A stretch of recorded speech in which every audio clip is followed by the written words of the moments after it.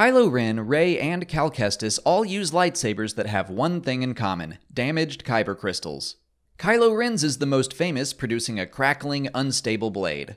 But Rey and Cal's lightsabers are fine, even though both their crystals were cracked down the middle. So what's the deal? Why don't their blades share that same effect? Today I'll try to explain. Let's start with the obvious, most important, and out of universe answer. Kylo Ren's lightsaber reflects his unstable character. That's been spoken about in countless interviews since his lightsaber was first revealed in the teaser trailer for The Force Awakens. He is being pulled apart between the light side and the dark, and the torment of his soul is illustrated by his out of control blade.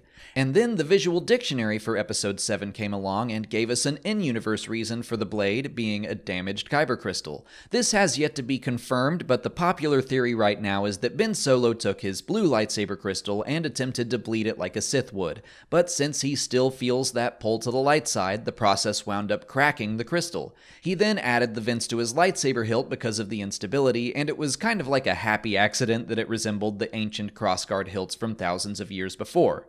I want to talk about Cal next. On Ilum, he finds a new lightsaber crystal, but it breaks apart in his hand. He despairs for a moment, but BD1 convinces him to try and build a lightsaber anyway, and he's able to make a double bladed lightsaber with the pieces. Again, thematically, I think this is meant to represent Cal and his journey. He goes through some massive trauma as a child that he has to learn to accept.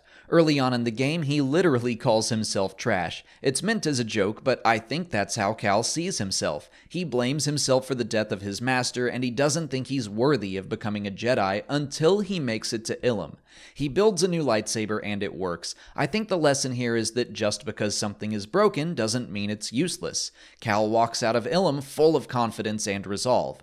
As for an in universe reason for the stable blade, I'd argue that the cut down the crystal was clean. It split in half, but its integrity wasn't lost in the same way that Kylo's was. It makes sense to me that the blades would work just fine.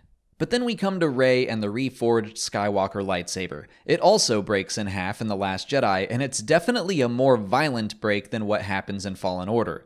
Thematically, I think the broken crystal means something similar. The lightsaber and the Resistance might be broken at the end of the film, but that doesn't mean that they're beyond repair. The Visual Dictionary for The Rise of Skywalker specifically states that the crystal was healed using techniques Rey learned from the sacred Jedi texts, so that's kind of all we need to know. Instead of using the two halves independently, Rey brought them together and healed the wound. That's a big theme in Episode 9, using the Force to heal.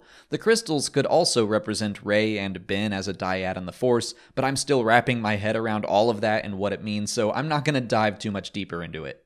The big difference I see between Kylo's lightsaber and Rey and Cal's is basically just intent. Rey and Cal wanted to make something stronger and new as a force for good, and they did. They knew what they wanted, and they had the resolve to get it done.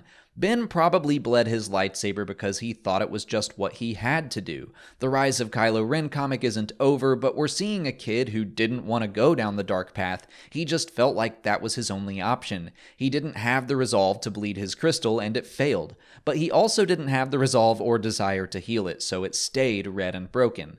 I still think it would have been nice to see him purify and heal his red lightsaber in The Rise of Skywalker, even if it didn't turn white like it's technically supposed to, if it turned blue, I think it would have been an awesome way to show his return to Ben Solo.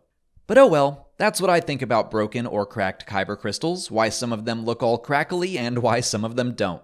Let me know what you think in the comments. If you haven't already, please like this video, subscribe to the channel, follow us on Twitter, Instagram, and Facebook, and consider checking out our Patreon page. As always, thanks for watching, and may the Force be with you.